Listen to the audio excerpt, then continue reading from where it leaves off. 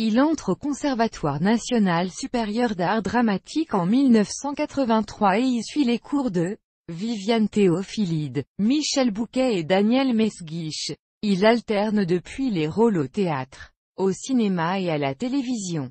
Dans La Conquête, film tourné en 2010 par Xavier Duringer et consacré à la conquête de la présidence de la République par Nicolas Sarkozy, rôle joué par Denis Podalides. Il incarne Dominique de Villepin. Il travaille également dans le domaine du doublage et prête régulièrement sa voix à Georges Clounet. Le 1er septembre 2012, il est engagé en tant que pensionnaire à la Comédie Française pour jouer le rôle du marquis dans La critique de l'école des femmes. Mise en scène Clément Hervieux Léger. Il quitte la Comédie Française en mai 2015.